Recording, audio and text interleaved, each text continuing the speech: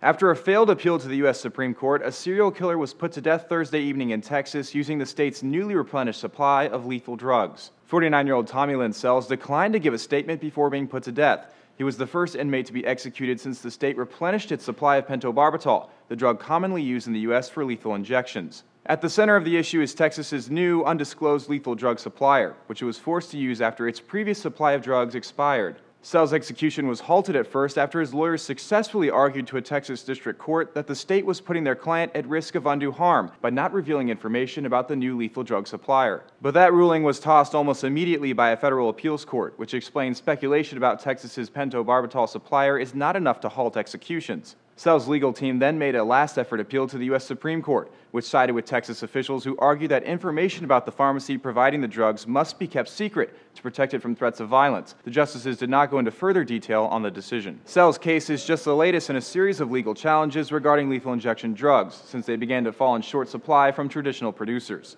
Many drug makers, especially those in Europe where opposition to the death penalty is the strongest, now refuse to provide pentobarbital to be used for capital punishment. The resulting shortage has forced state officials to obtain the drug from U.S. compounding pharmacies, which are not heavily regulated by the Food and Drug Administration.